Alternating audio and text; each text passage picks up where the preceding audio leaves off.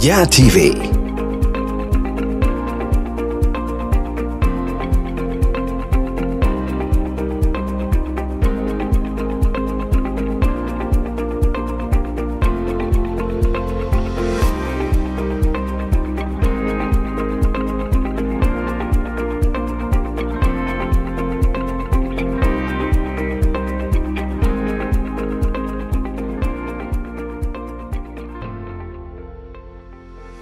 Dedicated to the memory of Kwame Nkrumah, the first president of Ghana and a leading player in the struggle for African independence, the Kwame Nkrumah Mausoleum is situated in Accra, Ghana.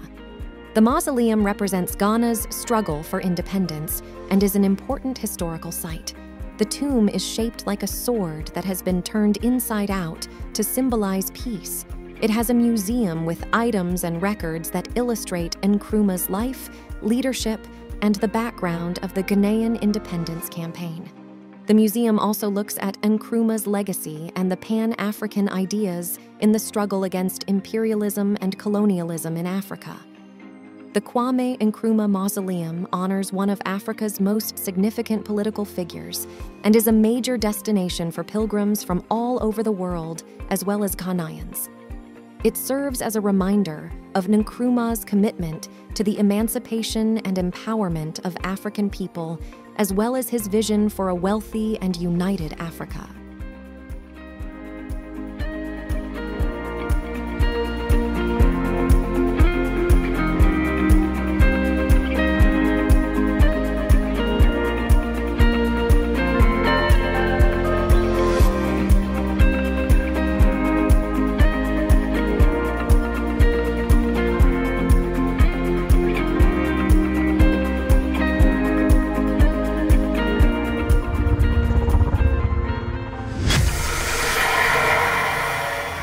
YAD TV. Bridging Continent.